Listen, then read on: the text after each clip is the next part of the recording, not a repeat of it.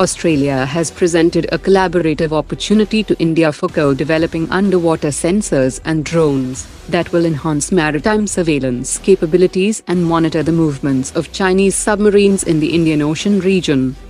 The new Maldivian president has left for Turkey on his first official visit, instead of first visiting India, which was done by all previous presidents of Maldives. The primary aim to visit Turkey followed by United Arab Emirates is to explore alternate sources of funding to reduce dependence on India. The Indian Air Force is planning to take over three airstrips in northern India and use them for strategic purposes and also improving air connectivity for the locals. China has started testing the electromagnetic catapult system of its third and the most advanced Fujian supercarrier that will enable it to launch heavier and larger fixed-wing aircraft with greater fuel and weapon loads. The third carrier will be ready for deployment in 2025. Defense Expo 2024 will be held in Ahmedabad from 15 March next year.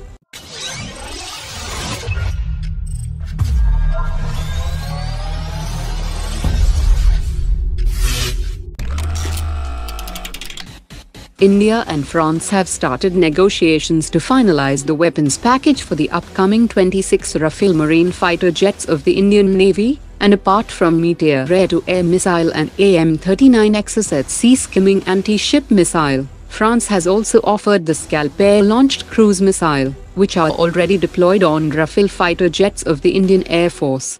It has a range of 560 kilometers and is designed to hit high-value and strongly protected targets deep inside enemy territory.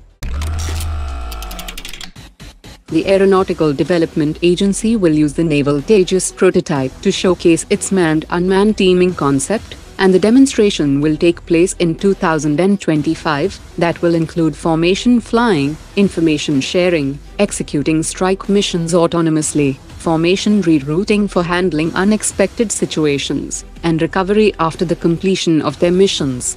The successful demonstration will pave the way for its integration into the TEDBF and AMCA.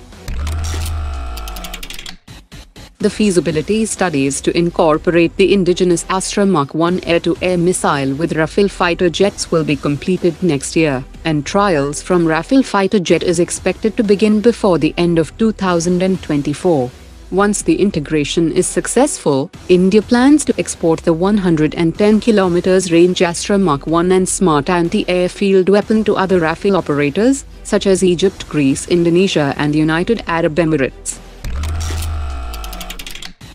The Kaveri engine that will power Tejas fighter jet as part of the technological demonstration will undergo weight reduction measures over the next few years, as the engine remains overweight.